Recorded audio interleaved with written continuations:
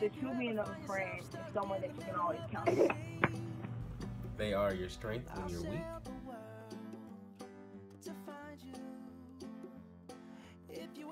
So, you know, when you're asleep and you're having a really bad dream and you're really, really scared, and then you wake up and what you realize is that you're not alone. You're actually really safe and you have really good people around you, people who understand you and want what's best for you. I think I think that's what it feels like. That's the power of a peer.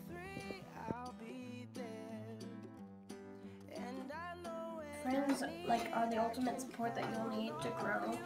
Because if friends weren't there, then you'd probably you you wouldn't you wouldn't have as much determination to like go to your goals and and act out in them.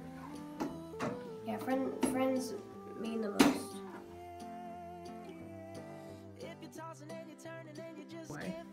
My friend, he when my parents got a divorce, he helped keep me happy when they were getting a divorce.